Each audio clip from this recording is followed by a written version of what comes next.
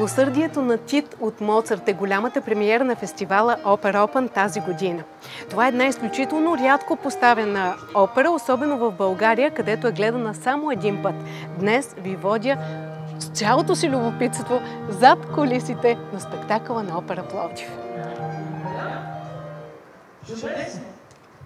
Избрахме заглавието Милосърдието на Тит от Моцарт за голямата премиера на 10-то издание на Опера Open, защото на първо място смятам, че имаме самочувствието, че можем да правим много хубав Моцарт.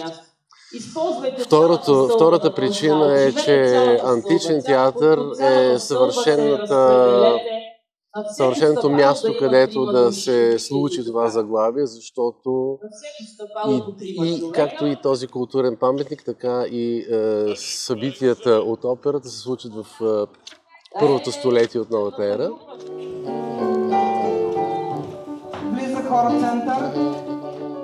Моцарт приема да композира милосърдието на Тит за коронацията в Прага на Леополд II, император на Свещената Римска империя като крал на Бохемия. Либретото е по прочутата опера серия или сериозна опера от Пиетро Метастазио, която по това време е използвана близо 40 пъти от други композитори. Сюжетът се развива в Древен Рим, на Капитолия и в Колизеума. Намираме се в Древния Рим. Както виждате, тук вече зад нас строят Древния Рим. Или обратното. Майче, ние се намираме в руините на Древния Рим и сме го свързали с тази обтекаема форма с нашите съвременни дни и имам чувството като че ли просто това винаги е било тук. Днеска за първи път и аз виждам нашия декор. В момента все още се строи там Вие горе. и подчертавате и надграждате Абсолютно да. Хем го подчертаваме и допълваме. Както виждате, тази амфитеатрална постройка тук дублира автентичните редове на, на античния театър. Дело на Юлиан Табаков.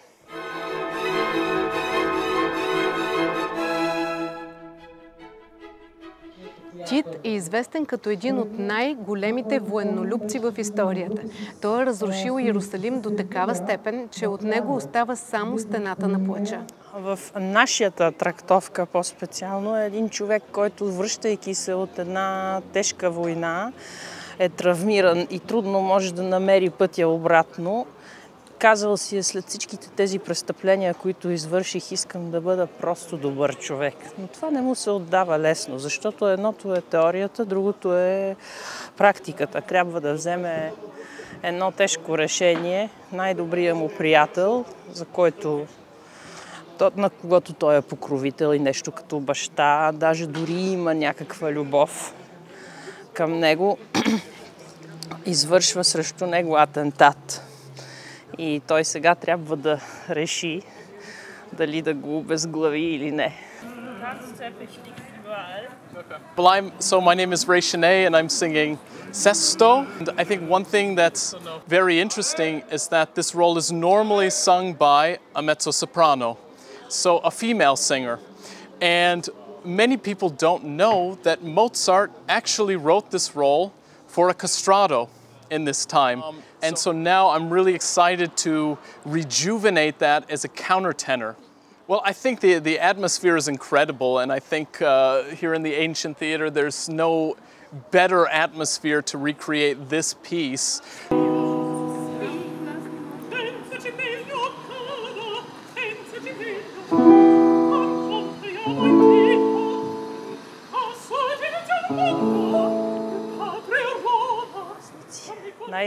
Най-така изявения женски образ е на Вителия. Ето тук сега ще покажа нейното канапе.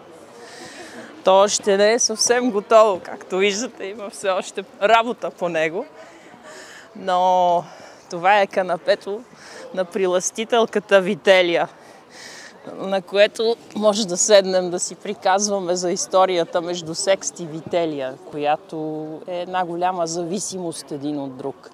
Той е единствения, който в името на любовта си към нея ще извърши този атентат. Тя го насъсква, тя го приластява, тя го прави зависим, за да си възвърне правомощията като дъщеря на владетеля Вителиус, който всъщност е смъкнат от Тита. Тоест, римска история от всякъде. Зад нас виждаме автентичните колони на античния театър, които средством мултимедия и осветление ще подпалим. И може би даже ще открием погледа към град Пловдив, който след пожара ще се разкрие зад нас. Тоест пожара ще е нашия транспорт във време и пространство. Бих казала, че са съвременни костюми с препратки към древността имат всъщност облика на едно високо поставено общество, което може да се намери и в днешни дни и да се види. И всъщност това е моста към древността.